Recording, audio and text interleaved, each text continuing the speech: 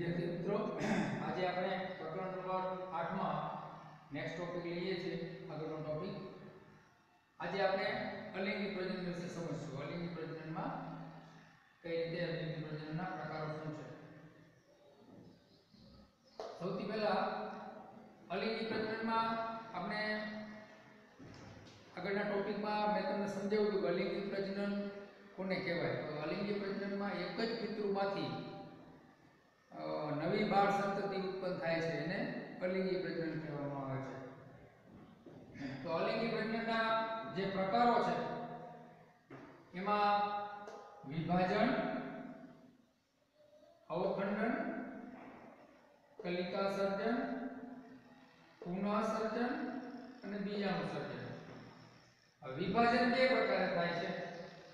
જો એક જ પિતૃ એક જ પિતૃ કોષમાંથી, એક જ પિતૃ કોષમાંથી જો બે બાળ કોષો ઉત્પન્ન થતા હોય તેને દ્વિભાજન કહેવાય.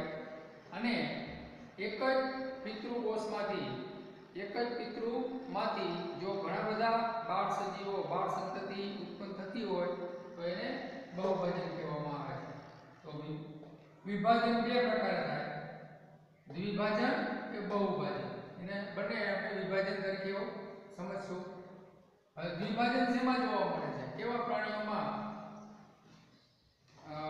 કેવા સજીવોમાં દ્વિભાજન જોવા મળે છે? તો અમીબા અને લેશમાનિયા તો અમીબા અમીબા જે એકકોષી પ્રાણી છે. તો અમીબાનું, એ અમીબા એક કોષનું જે કોષનું એક કોષ છે, એ બે ભાગમાં વિભાજન થાય. અમીબા એક કોષી પ્રાણી જ્યારે બે ભાગમાં વિભાજિત થાય, ત્યારે એનું જે કોષ કેન્દ્ર દ્રવ્ય છે કોષ કેન્દ્ર દ્રવ્ય એ બે ભાગમાં વિભાજિત થાય છે. બે ભાગમાં કોષ કેન્દ્ર દ્રવ્યની વહેંચણી થાય છે. બંને કોષ કેન્દ્ર દ્રવ્ય વિભાજિત થઈ અને બંને કોષ કેન્દ્ર દ્રવ્યની ફરતે કોષ રસ નીકળાય છે અને એમાંથી નવા બે બાળ સજીવો ઉત્પન્ન થાય છે. એટલે કે નવા બે બાળ અમીબા ઉત્પન્ન થાય છે, એને દ્વિભાજન કહેવામાં આવે છે હવે અમીબામાં વિભાજન ગમે એ સમતલમાં થાય. એટલે કે અમીબા, અમીબાનું કોઈ પણ સમતલની અંદર વિભાજન થઈ શકે છે. જ્યારે લેશમાનિયા લેશમાનિયા છે એ આ એક પ્રકારનો રોગ છે, કાલા આજાર કાલા આજાર જે રોગ છે એ એ રોગકારક જંતુ જે છે એ જંતુનું નામ છે લેસમાનિયા. તો લેશમાનિયા પણ એક કોષી પ્રાણી છે હવે લેશમાનિયાના એક છેડે તંતુ જેવી રચના હોય છે. લેસમાનિયાના એક છેડે લાંબી, સૂક્ષ્મ તંતુ જેવી રચના હોય છે. જેથી લેસમાનિયામાં અમીબાની જેમ ગમે સમતલમાં વિભાજન થતું નથી. અને ચોક્કસ સમતલમાં જ લેશમાનિયામાં વિભાજન થાય છે. એટલે આ બંને અમીબા અને લેસમાનિયા બંને જીવાણુ એવા છે પ્રજીવો કે જેમાં દ્વિભાજનથી નવા બે બાળ સજીવો ઉત્પન્ન થાય છે. એને કહેવામાં આવે છે દ્વિભાજન. ત્યાર પછી બહુભાજન. હવે પ્લાઝ્મોડિયમ જે મેલેરિયા રોગ થાય છે, મેલેરિયા. મેલેરિયા રોગનો, મેલેરિયા રોગના જે જંતુ છે એને પ્લાઝ્મોડિયમ કહેવાય. આ પ્લાઝ્મોડિયમ જે પરોપજીવી છે, પરોપજીવી પ્રજીવ. તો પ્લાઝ્મોડિયમ, પરોપજીવી પ્રજીવ એક સાથે અનેક સંતતિ કે બાળકોષોમાં વિભાજિત થાય છે. અને આ દરેક બાળકો સ્વતંત્ર વિકાસ પામે છે અને એકી સાથે ઘણા બધા નવા પ્લાઝ્મોડિયમ, જંતુ એટલે કે પ્રજીવો ઉત્પન્ન થાય છે, જેને કહેવામાં આવે છે બહુભજન તો પ્લાઝ્મોડિયમ પ્લાઝ્મોડિયમ પરોપજીવીમાં એકી સાથે ઘણા બધા નવા બાળકોષો ઉત્પન્ન થાય છે, જેને કહેવામાં આવે છે બહુભાજન ત્યાર પછી અલિંગી પ્રજનનમાં અવખંડન. અવખંડન એટલે શું? એ ઘણા બધા પ્રકારની જે વનસ્પતિઓ છે, વનસ્પતિના માનો કે લીલ છે સ્પાયરોગેરા તો સ્પાયરોગેરા અને તંતુમય લીલ.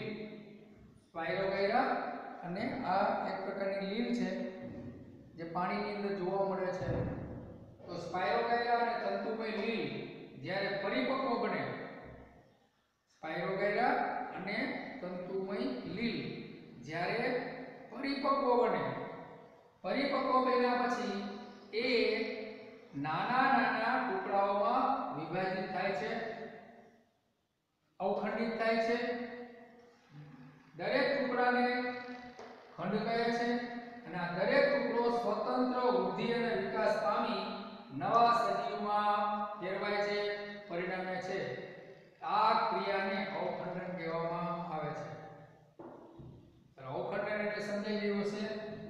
તો અને તંતુમય લીલ જ્યારે પરિપક્વ બને, ત્યારે પરિપક્વ બન્યા પછી નાના નાના ટુકડાઓમાં વિભાજિત થાય છે. આ દરેક નાના ટુકડાઓને ખંડ કહે છે અને આ દરેક ખંડ સ્વતંત્ર વૃદ્ધિ અને વિકાસ પામે અને પરિપક્વ બને છે, જેને કહેવામાં આવે છે અવખંડન. તો અવખંડન શેમાં જોવા મળે? સ્પાઇરોગાયરા અને તંતુમય લીલમાં જોવા મળે છે અવખંડન હવે કલિકા સર્જન તો હાઇડ્રા અને ઈસ્ટ આ બંનેમાં અ, કલિકા સર્જનથી નવા બાળકોષો ઉત્પન્ન થાય છે. તો હાઇડ્રા અને ઈસ્ટ આ સજીવોના શરીરની બાહ્ય સપાટી ઉપર બાહ્ય સપાટી પરના કોષો વૃદ્ધિ પામી, એમાંથી એક કલિકા નિર્માણ થાય છે. અને આ કલિકા સ્વતંત્ર રીતે વૃદ્ધિ પામે છે અને એમાંથી નવા બાળકોષો ઉત્પન્ન થાય છે. એને કહેવામાં આવે છે કલિકા સર્જન. તો કલિકા સર્જન શેમાં જોવા મળે છે? હાઇડ્રા અને એ સિવાય પુનઃસર્જન, એટલે કે પુનર્જનન, જ્યારે કોઈ પણ એક શરીર એક સજીવનું શરીર ઘણા બધા ટુકડાઓમાં વિભેદિત થાય.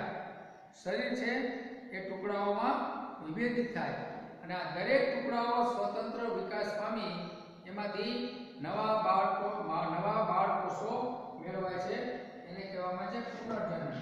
પુનર્જનન શેમાં શેમાં જોવા મળે છે? તો કે પ્લેનેરિયા હાઇડ્રા અને તારામાછલી પ્લેનેરિયા હાઇડ્રા અને તારામાછલી તમારે યાદ રાખવાનું છે કે કલિકા સર્જન છે હાઇડ્રામાં જોવા મળે અને પુનઃસર્જન પણ હાઇડ્રામાં જોવા મળે છે. આ તમારા ઓબ્જેક્ટિવ માટે યાદ રાખવાનું કે કલિકા સર્જન અને પુનઃસર્જન બંને જોવા, બંને બંને ક્રિયાથી, બંને ક્રિયા જોવા મળતી હોય એ એવું પ્રાણી છે હાઇડ્રા પછી બીજાણુ સર્જન તો કે રાઇઝોપસ નામની જે ફૂગ છે, એમાં બીજાણુધાની ઉત્પન્ન થાય છે અને આ બીજાણુ ધાનમાંથી એક સાથે ઘણા બધા બીજાણુ મુક્ત થાય છે અને નવા બાળકોષો મેળવાય છે. તો આ હતા અલિંગી પ્રજનનના પ્રકારો. વિભાજન વિભાજન બે રીતે થાય. જો બે ભાગ, બે બાળકોષો બને તો દ્વિભાજન એકી સાથે ઘણા બધા બાળકોષો મુક્ત થાય. તો બહુભાજન કહેવાય. દ્વિભાજન શેમાં જોવા મળે છે? અમીબા લેશમાનિયા બહુભાજન શેમાં જોવા મળે તો કે પ્લાઝ્મોડિયમ, જંતુમાં. પછી અવખંડન શેમાં જોવા મળે તો કે સ્પાઇરોગાયરા અને તંતુમય લીલ જે પાણીમાં હોય છે. કલિકા સર્જન શેમાં જોવા મળે છે તો કે હાઇડ્રા અને ઇસ્ટ પુનઃસર્જન શેમાં જોવા મળે છે તો કે પ્લેનેરિયા, હાઇડ્રા અને તારામાસ. અને બીજાનું સર્જન જે રાઇઝોપસ નામની જે ફૂગ છે, એમાં બીજાનું સર્જન જોવા મળે છે. તો આજે આપણે આ ટોપિકમાં લિંગી પ્રજનનના પ્રકારો વિશે સમજ્યા. આ ટોપિક આપણે પૂરો કરીએ આના પછી આપણે નેક્સ્ટ ટોપિક લેશું.